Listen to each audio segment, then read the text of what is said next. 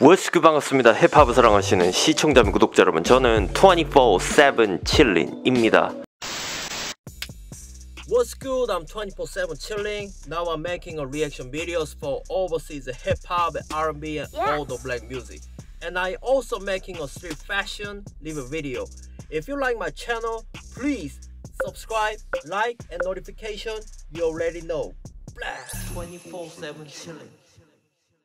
아, 이 뮤직비디오가 나오기를 얼마나 기다렸는지 모르겠습니다. 이번 주는 제가 미국 힙합 뮤직비디오에 관련해서 영상으로 남기는 게 벌써 두 번째가 되는 것 같은데 그럴 수밖에 없는 이유가 있습니다. 바로 제가 너무나 좋아하는 래퍼인 에이셉 라키의 새로운 뮤직비디오 라이엇이 나왔습니다. 부제가 있죠? Rowdy Pipe'n이라고 이게 이제 퍼포먼스 이름이잖아요. 라키가 작년부터 밀고 있는 퍼포먼스의 이름. 자, 제가 왜 이 뮤직비디오를 기다렸냐 하면 저는 몇주 전에 이게 음원으로 풀리자마자 소름이 돋았어요. 왜냐하면 에이셈 라키와 제가 너무나 좋아하는 저희 우상인 프로듀서 퍼렐이 이 곡을 만들었기 때문이죠. 퍼렐은 사실 넵튠즈의 멤버잖아요. 저는 고등학생 때부터 넵튠즈를 워낙 좋아했기 때문에 퍼렐이 만든 음악이라면 무조건 신뢰를 하고 듣는 경향이 있습니다. 게다가 제가 좋아하는 뉴욕 래퍼의 에이셈 라키란 말이죠.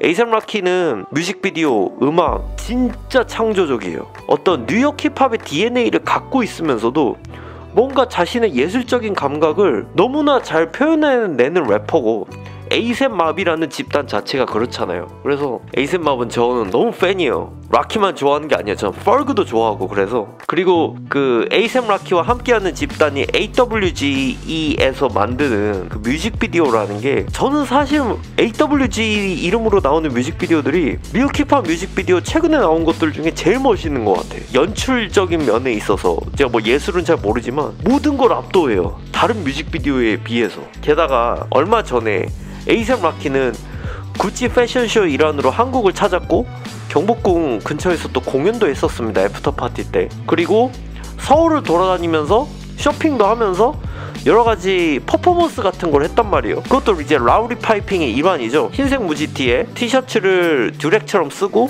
데님 팬츠에 팀버랜드 부츠를 신은 무리들이 갑자기 막 달리기를 하죠 길거리를. 그런 퍼포먼스를 전 세계에서 했어요. 제가 알고 있기로 아시아도 서울에서 한 다음에 에이셉 라키가 일본으로 건너와서 일본에서도 그 퍼포먼스를 한 것으로 알고 있습니다. 그래서 저는 그때 촬영됐던 장면들이 이 RIOT 뮤직비디오에 들어가지 않을까라는 생각을 했었는데 안타깝게도 들어가지는 않았던 것 같아요. 그래서 좀 아쉬운 감은 있는데 저는 이 비트부터 워낙 소름이 돋았고 이 곡 release 되자마자 매일 듣거든요. 그래서 아 좀 들뜬 마음으로 이 영상을 보도록 하겠습니다. 아 오랜만에 또 저희 채널에서 에이셉 라키 관련된 영상을 찍네요. 에이셉 라키 RIOT입니다.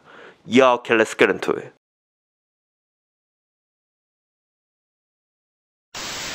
Yup. Are you enjoying watching my video? Have you still not subscribed to my channel?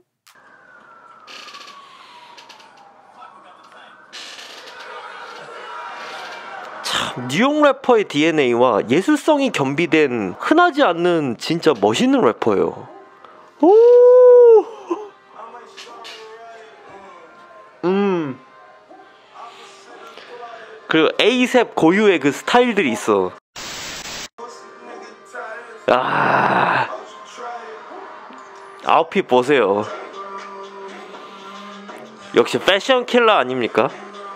에이.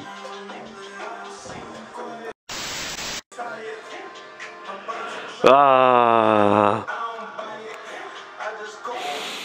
수많은 힙합 뮤직비디오들마다 고급 세단과 슈퍼카, 하이퍼카들이 나오지만 탱크를 끌고 왔어요. 저는 이거 탱크 끌고 나오는 장면 보고 무슨 생각이 들었냐면 딱 두 가지인데 WWE의 전설적인 레슬링 듀오였던 D-Generation X 있잖아요. DX가 생각나기도 했고 그리고 또 남부 힙합의 대부였던 마스터 P의 그 No Limit vibe가 생각났단 말이에요. 왜 마스터 P도 camouflage 패션 입고 막 탱크 끌고 나오는 퍼포먼스 하면서 막 랩하고 그랬잖아요. 약간 그런 느낌이었지.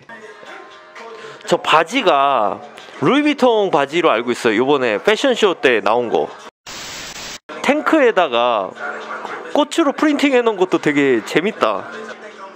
와. 근자해 봤던 힙합 뮤직비디오 중에 그냥 제일 멋있어. 아니 뭐 랩 스킬 이런 거 말할 것도 없고 그냥 힙합이자 그냥 예술인 것 같아. I'm a starting right. 에이.